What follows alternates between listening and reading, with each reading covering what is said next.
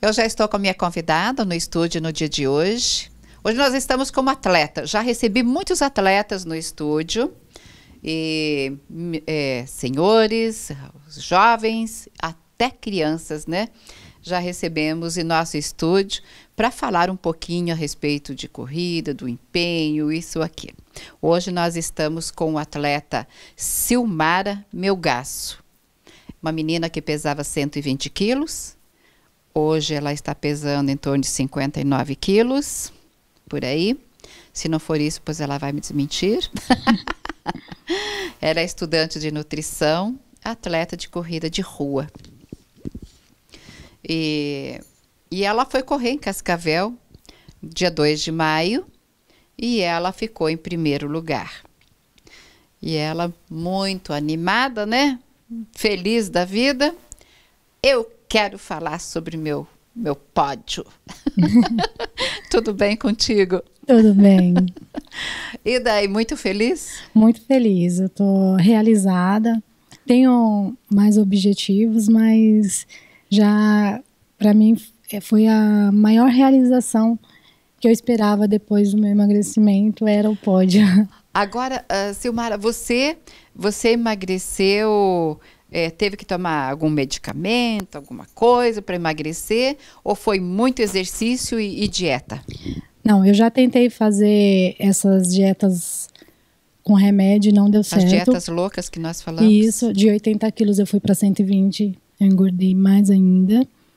E depois eu decidi não fazer nada. Então eu só emagreci com exercícios físicos, com a aula reeducação de alimentar, a reeducação alimentar, é, o funcional e eu participo do projeto Família Escadaria ali na praça é, próxima à prefeitura.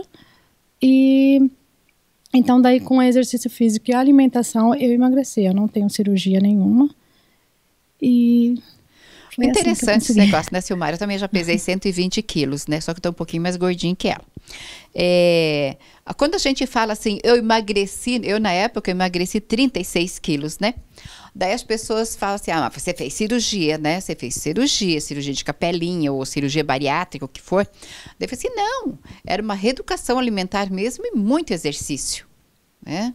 E não sei por que, que as pessoas acham que para emagrecer bastante tem que ser cirurgia bariátrica, né? Não, gente, não é assim não, é reeducação alimentar e muito exercício. Claro que tem situações que é só com cirurgia, né? Mas nós conseguimos emagrecer. Mas só que depois eu engordei um pouquinho de novo. Então, e você foi correr em Cascavel. E não Fui. é a tua primeira corrida, então, né? Não, não é a minha primeira corrida, mas é a primeira, é a primeira que eu fiquei é em primeiro primeira, lugar. Primeira. primeira. primeiro pódio. é o primeiro pódio dela, está super feliz. Agora, essa participação é o projeto Família, né? Isso. É o projeto Família Escadaria. Isso. Que ela é treinada pela professora Projeto Martinha Assessoria Esportiva. Isso que está aqui com a gente também, né? A professora, a professora Martinha, é, que chamo dele, com certeza é Marta, né? Mas chamo ela de Martinha. É, mas ela não é tão pequenininha assim para chamar ela de Martinha, viu? Tudo bem contigo, Martinha? Tudo jóia, Tamires. Obrigada por nos receber aqui. Você não tem só ela de atleta, não, né, Martinha? Mas eu digo que ela é a minha. é a tua pupila. É, porque a, a força a protegida. de. É, é porque é a melhor amiga também, né? O que o esporte trouxe pra gente, né? Ela começou como aluna e hoje ela é a minha melhor amiga. Então a gente é companheira e parceira para tudo isso. Mas a força de vontade da Silmara me deixa muito feliz. Então eu falo assim que a vitória dela é minha vitória também, a conquista dela. Sempre do técnico, né, vai puxa junto, né? Mas assim, apesar de ser um desafio pessoal dela, é meu também. Então a gente tem objetivo em comum. Isso é muito bom. Você é atleta também, professora? Também sou atleta de corrida de rua. É? Mas eu não sou tão boa quanto ela, não. nunca, nunca teve um pódio? Já tive alguns, mas é, bem antigo. A minha ideia é que os meus alunos alcancem o pódio. Claro. Então, assim, é, as últimas corridas que eu participei, eu participei para incentivar eles. Eu não pensei que quando a Silmara começou, ela sempre disse que eu fui o carro-chefe dela correr. E eu corro tão mal, sabe? Eu sou asmática, sou uma professora que começou a correr ah, é. para fazer um tratamento do pulmão. né, para me conseguir respirar melhor e depois de formada. Mas eu não pensei em virar atleta. E acabou acontecendo. Acabou indo que é, você virou mas, uma é, atleta. É, eu me realizo com os meus alunos. Com Agora, certeza. há quanto tempo você tem esse projeto?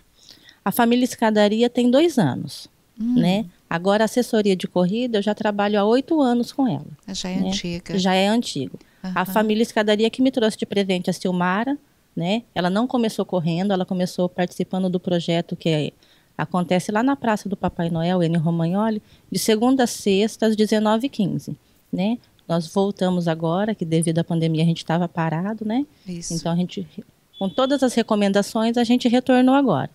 E a Silmara não falta, né? Tem dia que não, tem, não tinha projeto e a Silmara estava lá.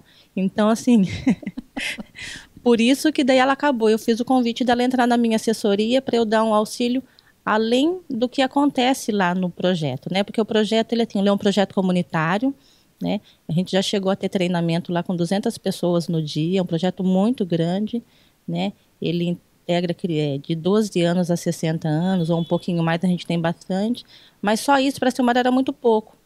Aí eu fiz o convite para ela poder vir aprender um pouco mais, já que ela queria ser atleta de rua. E a minha assessoria aqui, o Moarama é pequeno, eu tenho uma assessoria virtual também, eu trabalho com bastante atletas que não são daqui de Umuarama, né? A gente tem bastante assessoria aqui, todos meus amigos, mas a maioria não são meus alunos. E, e depois disso que a Silmara, na verdade, comprometimento e toda a disciplina que ela vem adquirindo dia após dia, está superando. Quais são as regras para ser uma boa corredora que nem a Silmara? É, muito puxão de orelha primeiro da professora. Isso é normal. é, primeiro, gostar da atividade física e perceber que a atividade física é o melhor remédio. Né? A Silmara adentrou para tudo isso por causa do emagrecimento. Hoje é por causa da qualidade de vida.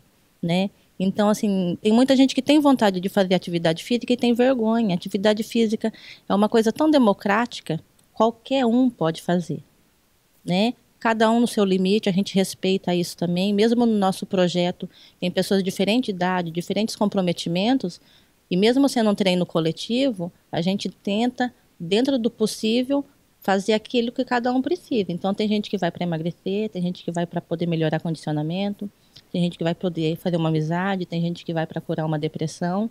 Então, a gente tem vários casos. A gente não tem só os atletas que nem a Silmara, né? Mas eu falo que o primeiro passo para atividade física ou para qualquer projeto esportivo é ter vontade de ir, né? Eu sou muito parceira de quem não quer ir. Eu consigo convencer. Eu faço meus amigos, faço muitos amigos depois que eles se tornam meus alunos. É, quantos alunos você tem hoje na escadaria? Na família Escadaria, voltando agora, né? O nosso grupo tem 265 pessoas. Jesus, é. que coisa gostosa. E o que que, por causa da pandemia, então o que que a gente está fazendo? Seguindo todas as recomendações. Então, grupo de risco ainda não está frequentando, Sim. por segurança deles, Sim. né? E a gente está trabalhando em média, a gente voltou aí semana passada, né? A gente voltou em média aí com 50, 60 alunos. Mas é aos pouquinhos que a gente está fazendo rodízio né? Para a gente assim conseguir manter distanciamento. A gente tinha bastante coisa que a gente oferecia que agora a gente não pode. A gente tinha água que a gente oferecia, agora a gente não pode. Individual. A gente tinha guarda-volume, agora não pode. A gente tinha cuidado das crianças enquanto as mães treinavam, agora a gente não pode, né? Ai, Por isso que reduziu. Aos poucos a gente vai voltando ao novo normal, ou ao nosso normal, e eles vão retornando. Mas eu já cheguei da treino com 210 pessoas. Meu Deus. Vai controlar essa turma toda. Não, mas eles Com música ou sem música? Com música. Ah, fica mais divertido, né? é, é como a, a, comidinha seca, assim, não tem muito gosto, mas se tiver um molhinho, né? mas a, diver... É, a diversão deles é muito maior do que a música que vai lá. É muito gostoso. Eu te convido, eu te convido a um Sim, dia eu vou fazer conhecer. uma visita lá para vocês. Eu Por vou favor. sim, prometo. Vou lá, já faço a caminhada, porque é longinho daqui até lá, né? Mas já faz a caminhada e já aproveita fazer um pouco também. Agora eu vou falar com a Silmara. Silmara, é, em época de pandemia, tudo fechado, você treinava onde? Eu tive bastante dificuldade, porque eu como corredora de rua, eu não, não posso só estar tá correndo na rua eu preciso fazer o treino de força. E como estava fechada as praças, eu não conseguia estar tá treinando uhum. nas praças. eu fui até, eu ia na casa da minha professora treinar no quintal, fazer o, o treino de força. Mas era difícil, porque a corrida já estava chegando, Cascavel não estava fechado, os atletas lá to, todos treinando normalmente. É verdade, eu saí daqui, vez estava fechado, cheguei lá, tudo funcionando normalmente. E eu tive bastante dificuldade, porque daí eu cheguei lá e foi com força mesmo e, e garra. Porque eu gostaria muito que o Moarama desse oportunidade mais para os atletas, porque é difícil a gente. Eu não tenho assim muitas condições para pagar academia, outra, outras coisas, né? Então eu utilizo o pessoal da família Escadaria, é um projeto que mudou a minha vida, né? Eu era muito ansiosa, hoje eu melhorei 100%, né?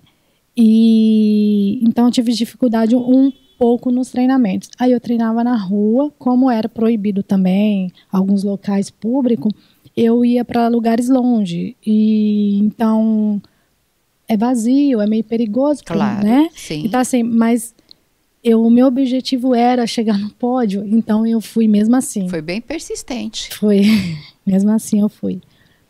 Agora, que tipo de peso? Força. Força, eu preciso correr na areia, Aí, no caso, eu vou sempre no Porque bosque. areia deixa pesado, né? Isso, eu vou no bosque Irapuru, né? Correr na areia, faço treino na escada, que é na, na praça, e utilizo a parte da, das subidas, que daí, no caso, eu vou nos bosques, né? Mas como estava fechado, daí a gente fica com um pouco mais com dificuldade. Aí tem que ir para a rua mesmo, procurar um local que dê para treinar, e aí é meio difícil. Mas deu certo. Isso que é importante. Eu quero que você mostre o troféu aí, tua medalha. Isso. O troféu foi, o troféu foi lá de Cascavel. Foi Sim. o primeiro lugar. O primeiro foi o pódio, lugar... foi o que te rendeu o pódio. Isso, foi o primeiro lugar a equipe lá feminina. Com, com Cirilo. Isso, com o Rodrigo Cirilo Eventos, a gente ficou 26 ele. minutos na frente do segundo lugar. É, foi bem, uma né? emoção, porque mulheres aqui em Umuarama, é, assim, não tem muita oportunidade, né? E eu vejo que agora a gente está tá tomando um espaço que eu só via homem mesmo, né? Então, assim, eu convido as mulheres que queiram, né, entrar para a corrida, porque não faz, não faz bem só para emagrecimento, faz bem para a mente e, e para o corpo, né? Então, assim, correr Faz melhora, tudo. Melhora tudo. E me deu uma sensação de, de empoderamento mesmo. Concordo com você. Quantos quilômetros a corrida? Essa corrida foi 7 quilômetros. Meu Mas eu já corri bastante. 42 quilômetros, Quanto? né? 42 para o circuito do Sesc eu fiz em dois dias. Podia, poderia estar tá dividindo o tempo, mas eu mas fiz em dois dias. Mas também fica acabada, né? É, sim, no outro dia tem que ter recuperação, não pode estar tá treinando no outro dia e ficar off, né? Daí tem que ficar bem quietinha, né? Sim, eu fiz algumas corridas virtuais também, na época da pandemia. Eu corri para o México, né? É, daí eu fiquei em sexto lugar. É, para mim foi uma vitória, porque eram muitos países e cada lugar tem um, um jeito, um modo de treinamento, né? Então, assim, eu fico muito feliz com o meu treinamento que minha professora me passa, porque eu vejo que eu consigo alcançar e ficar no mesmo patamar de bastante atleta, né? Eu mesmo, eu sendo nova, porque eu corro só desde 2019. Pouco comecei, tempo, pouco né? Tempo. Pouco tempo. Qual que é a tua alimentação antes da corrida? A minha alimentação, eu tenho que balancear o carboidrato, né? Os vegetais. Então, assim, tudo uma semana antes eu já começo a balancear para a corrida, para a prova. Tem que ser uma semana antes, regrar bem a alimentação e para poder na hora da prova você estar tá preparada. Professora, agora vamos falar com a professora um pouquinho. Professora tem que para a corrida tem que estar tá, assim meio barriga vazia ou, ou tem que estar tá com a barriguinha cheia?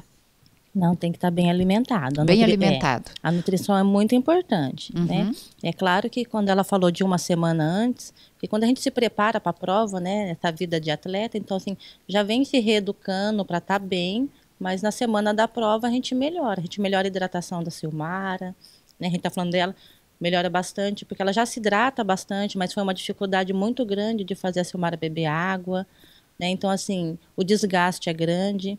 Foram 7 km essa, essa prova, Mas era equipe de seis, então assim, tinham que chegar os seis integrantes para poder somar. Então, assim, tem todo esse comprometimento que você não está correndo sozinho, uhum. né? Que você tem adversário e não tem inimigo. Então, assim, você não pode ser inimigo nem da sua alimentação, Sim. né?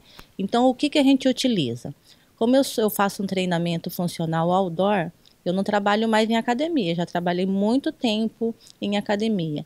E pela dificuldade dos meus alunos ter aceitação de estar num lugar onde que eles ficam, se sentem muito visados e tudo mais, por isso que eu vim trabalhar nos espaços públicos, né? Para poder dar oportunidade daquele um que tem vergonha de ir para academia, de ir para um centro de treinamento, fazer a mesma coisa, né?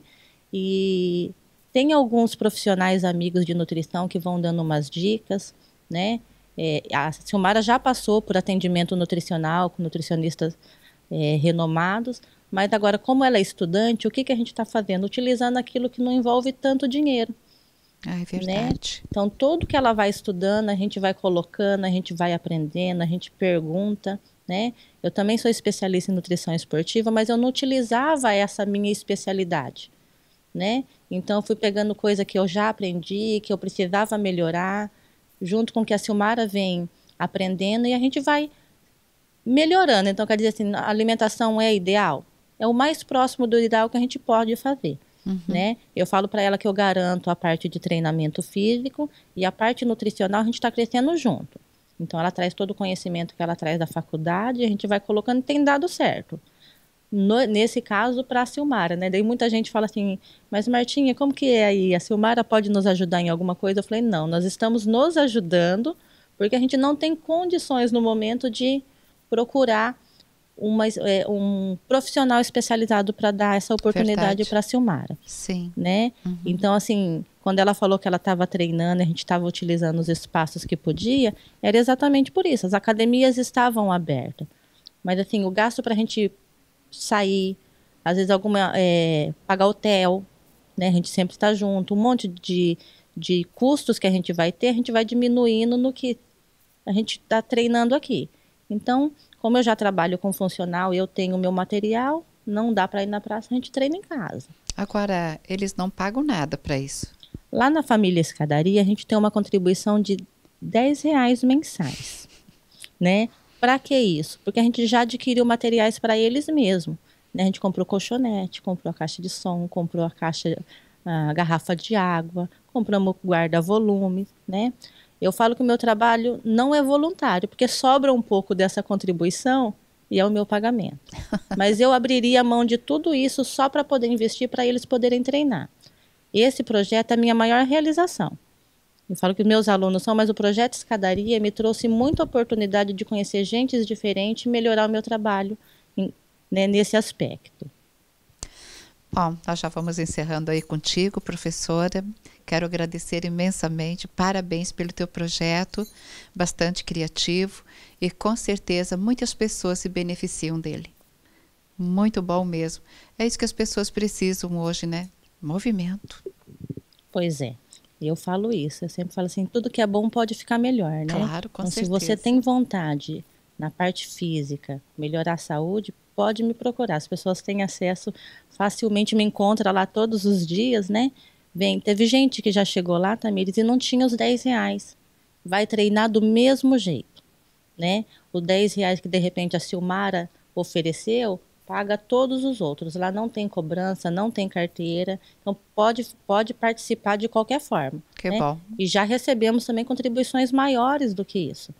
Né? Então, assim, o, o, o projeto ele sobrevive das pessoas que participam. Os 10 reais realmente é, é o mínimo. Que bom, fico muito feliz. Que Deus te abençoe, tá? Amém. Até uma próxima Até. e sucesso. Obrigada. Agora vamos falar então com a nossa pódio. a Silmar, eu quero agradecer, né? Obrigada. né? E ela fez bem, ela pediu, né? Se tinha um espaço, se dá para vir, claro que sim, por que não?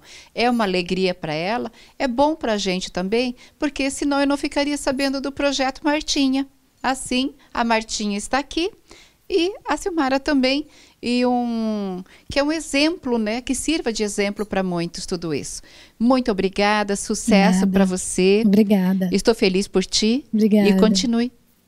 sim, trazendo sim. muitos outros, né? Sim, troféus aí pra gente de primeiro lugar. Muitos Treinar pódios. com bastante intensidade para chegar sempre no primeiro lugar, se não chegar em primeiro, sempre lá. Mas o importante é competir. O importante é competir e a saúde. É a saúde. Porque em tudo disso, tudo, toda a minha corrida, o meu emagrecimento, foi tudo voltado para a saúde, não para a estética.